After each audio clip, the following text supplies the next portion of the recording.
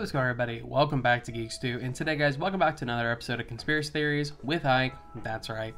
And today, guys, we are back with another theory, thanks to Cicada 1205 for the Conspiracy Theory Iceberg, as always. And, uh, yeah, so, pardon my clearing throat there, but I do want to address something real quick. So, um, this is like the intro of the intro, so um, if you don't want to hear me talk about me addressing something that was recently brought up on the page, uh, feel free to skip ahead um, maybe about 30 40 seconds maybe a minute. But um, so i want to real quick address this comment. So i obviously uh, mean no hate to this individual. I don't intend this to be a negative thing and i don't um, want to make a big deal out of it. But here, here's the deal okay? There is no such thing as original content on youtube anymore all right, I'm going to be honest with you. We've all seen a hundred different variations of the same content being replayed over and over and over and over again. Um, it's no mystery that there are other people on YouTube who do similar conspiracy theory content to myself. I am by no means the first, and I will by no means be the last. Here's what I want to point out though. While this person is not inherently incorrect, I do take some inspiration from other people. Um, but while I understand that other folks use this format, I do intend this to be my version of things. If it has similarity to other creators, while they may have been used as inspiration, what I bring you week weekly is indeed my authentic self and my version of these conspiracies. Also, the half baked editing that you get is from me as well. Do I implement the use of memes and everything else to sort of break up the monotony of a video? Absolutely. But I don't necessarily want to be compared to people like Wendigoon. As much as I love Wendigoon, I, I am different than Wendigoon. I think the biggest thing that sets me apart from Wendigoon is the fact that I do typically focus on one to two conspiracies per video rather than addressing sections of an iceberg at once. Um, I did address the first level of this iceberg with my uh, co host, uh, Salsa Shark, on the Control Over Sea podcast, but that was sort of just a one time thing since I did want to cover the first layer of this conspiracy theory iceberg, but I didn't want to have to do an individual video on a bunch of stuff that most people already know. So, with that in mind, I just want to make it clear that I, while I do understand these comments and while this person has every right in the world to make these comments, they're not super necessary, and I, while I respect that it's your opinion, I don't want people to have the similar opinion that I'm trying to like copy Wendigoon because I'm not. I'm just simply bringing you my authentic self and bringing you conspiracies from an iceberg. I'm giving you my take on these conspiracies and my opinions regarding these conspiracies, and also giving you some detailed information about individual conspiracies um, in an effort to maybe just spread information. With that out of the way, let's get into our theory.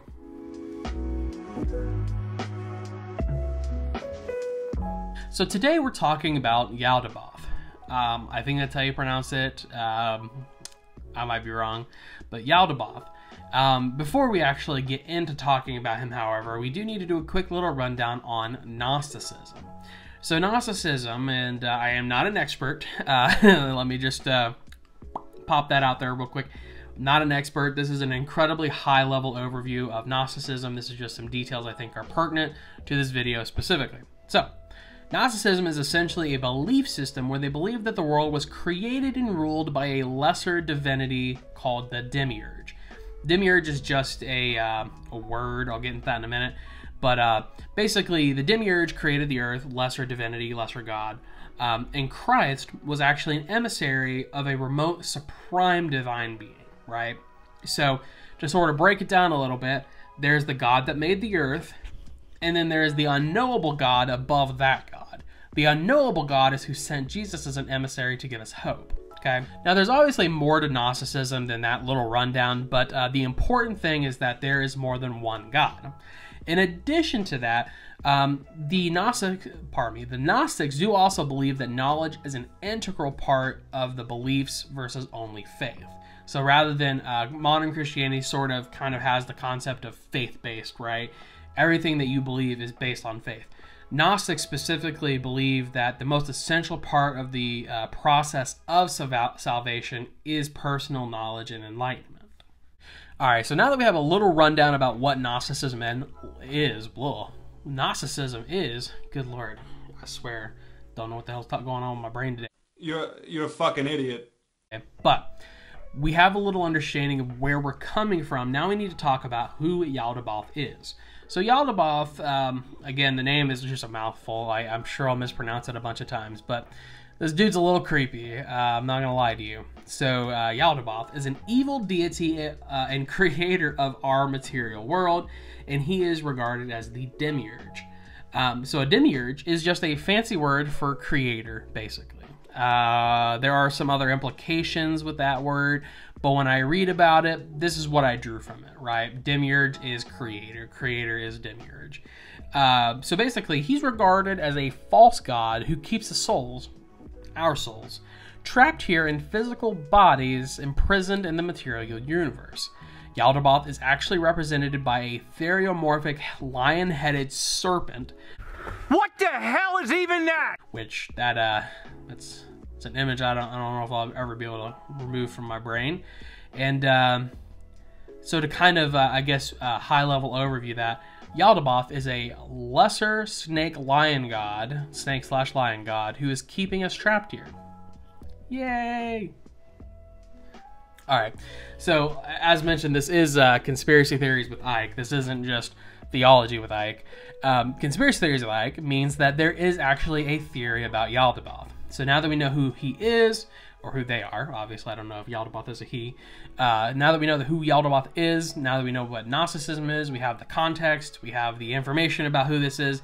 Now we can talk about the theory. So, basically, the theory here is that Christianity is incorrect. Wow. Um, I mean, it's funny how many theories that I've just covered from this iceberg that basically is like, yeah, what you guys know is wrong. But uh, so the theory is basically rather than God that we know creating Earth, yeah, our, our boy Yaldabaoth did. My boy. That's my boy. No, my boy. Father, help. Um, so a few things that I do want to at least mention is that first and foremost, there are two theories, right? There are two theories that explain why Yaldabaoth created us and all that. Um, I didn't really see much of how he created this. Uh, basically, everything's the same in the Bible. Like, instead of God creating us, it's just Yaldabaoth. And that the God that we worship is basically this, like, unknowable God that is above Yaldabaoth, who is, like, just a supreme being. So, basically, there are two theories. Theory number one is the evil God, Yaldabaoth. So basically, this version, he basically created us and created Earth and made it in such a way that they specifically intended it to be bad, right? Everything's supposed to be bad. Like we are being trapped here in our physical forms as some form of punishment, okay? Now, uh, in this kind of version of things, um, there are a few things that we look at the Bible and they're reflected differently, right? Um, in this version, uh, one important piece of information is that the serpent that tempted Adam and Eve is actually a good guy. And here's why. He is praised for bringing knowledge to Adam and Eve and thereby freeing them from Yaldabaoth's control.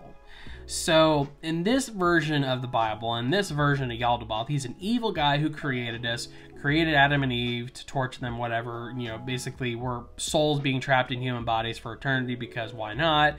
And the serpent actually frees them from his control by giving them information, right? Which kind of leads to the whole concept that in the Gnostic uh, belief, knowledge is what gives you salvation. Um, so basically, like again, the concept of Gnosticism also relies heavily like on that good versus evil. So there's that eternal conflict of Yaldabaoth, the evil versus the benevolent, unknown God, right? So it's very interesting, honestly. The whole concept of a lesser god and also of a benevolent, liberating serpent of the Old Testament, if you will, it's actually quite interesting. Um, I feel like there's a lot that could be done with that in terms of a belief system and I think that it could honestly, uh, it could answer a lot of questions, right? We do have a lot of questions and a lot of stuff that contradicts itself within the Bible. A lot of stuff about how the God of the Old Testament, you know, and why Jesus was so important, why he was sent. You know, how can the God of the Old Testament want to suddenly save us. You know, it's a whole thing. And I'm not super religious by any means, but this is a very interesting take on this, you know, this whole consideration. Lots of different stuff to it. There's obviously more to Gnosticism and Yaldabaoth, but this is sort of just like, you know, overview. But that's theory one. Yaldabaoth, he's evil, created us to, for pain and suffering, trapped us in these bodies, so on and so forth. Now, the other, the alternative to an evil god, is an incompetent, ignorant one. Um, this one is actually uh, it's lesser believed, but uh, when I was doing research, there was a uh, point in time because Gnostics have been around for a long while. I think they said like the 12th century, 12th or 14th century, one of those two. Um, but they've been around for a while. The concept of Gnosticism has, has been around for a very long time, but specifically, uh, there was a point where not, most Gnostics believed in the evil Yaldabaoth God, right? He's a lesser God, created us for evil. But there's a lesser group that was like, you know what? What if Yaldabaoth wasn't such a bad guy? You know what I mean? So basically, they're like, uh, basically, Yaldabaoth is just weak, right? Not weak in our terms, but in godly terms, he's a weak God. And he basically lacked the power to properly create us and the world, and basically did his best. So I mean, good job, I guess, right?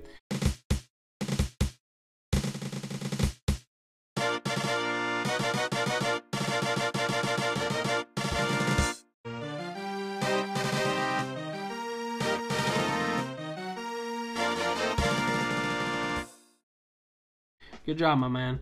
Um, now, this one obviously I think seems sort of like the weaker of the two theories, uh, even somewhat of a cop out. Like my, my my my guy, my my brother in Christ, Yaldabaoth. He did his best.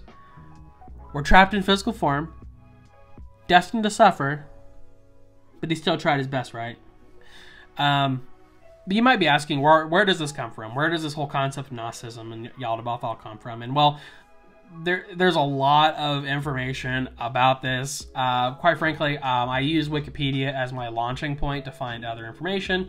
So if you go to Wikipedia, there are so many like texts and books and stuff like that that kind of talk about like Gnosticism and this whole concept. Honestly, it, it I, I, I, you know, if I was a little more, uh, I would say a little more uh, scholarly, I would probably read more about this. But I don't know, man. I, I just have a hard time reading books these days. I just, I'm just busy. What up? I'm Jared. I'm 19, and I never fucking learned how to read. But yeah, so there's obviously a lot more to Yaldabaoth, and I could do like a whole video on some of the other lore about him, but as the theory appears on this iceberg, I believe it has to do with him being our creator, right? Rather than God being our creator, the one that we think that we think of when we think of God, it's not actually our creator, right? That's the unknowable divine entity, um, God, versus our creator, the lesser eviler snake lion or Yaldabaoth. So there you go. That is the theory about why Yaldabaoth is our creator. That's the theory as it is appears on the iceberg. Yeah. Evil, lesser known, snake lion god. All right. Thanks again to Cicada125 for the iceberg. Uh, I know these videos are getting a little shorter sometimes, but honestly, it's because I'm starting to like formulate and like narrow down on certain things. Like what information should I include? What information should I not include? So I'm starting to get a little bit better with this. Um, so honestly, yeah. But yeah, thanks Cicada125 as always for the inspiration on these videos. But uh, I do want to touch briefly again on what I talked about at the beginning, and I and I don't want to like dwell on this, and I really just want to emphasize I don't mean any hate towards this person who commented. They are entitled to their opinion. I just want to make sure other folks know that I am trying to do my own thing. I think the thing that sets me apart is again, I, I focus on one or two things per video, maybe two theories, you know, versus a huge theory video about everything.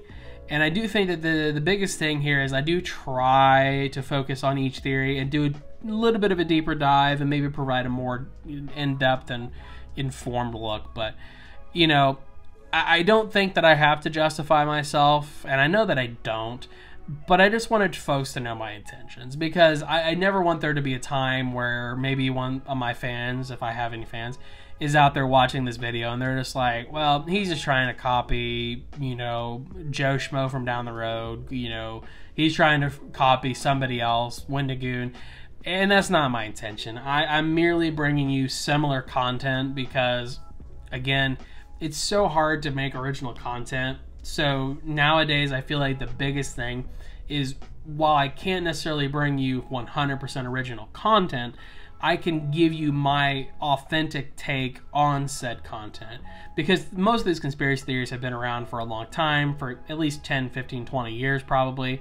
And mm, since YouTube's been around, people have been talking about conspiracy theories. So it's not like it's not like this is unheard of. So I just don't want people to think that I'm trying to copy anybody. I'm just trying to give you my authentic self. Who I present to you is who I am. I am a sarcastic, foul mouthed person sometimes, and I just like to slip that in when I can. So that's the shit, man. That's the shit. Anyhow, I'm not gonna keep holding you guys up here. Uh, let me know what you guys think in the comment section down below. Let me know if you think Yaldabaoth is our uh, evil, lesser known snake lion god, and if you do think that, praise be to Yaldabaoth. Um, and uh, I hope you guys are having a wonderful week. Happy Friday. When you're watching this, it's Friday. When I film this, it's still super early in the week, so I'm really like, you know, TGIF. Um, it's not here yet for me, but it will be. Uh, I think I mentioned before I'm going on a cruise soon, so you'll have that video um, probably next month once I get back from the cruise and everything else. Uh, but yeah, I hope you guys are having again a wonderful Friday. Hope you have a wonderful weekend. I'm gonna let you guys go. So everybody who's watching, leave a comment down below. Let me know what you think about Yaldabaoth. Let me know what you want to see me cover next. Let me know if you have any ideas. I like to steal people's ideas. Um, and as always, like, favorite, share, subscribe, follow us on social media, all that good shit. And uh, yeah, stay safe, stay happy, stay healthy, and stay awesome. We will see you in the next one. See ya.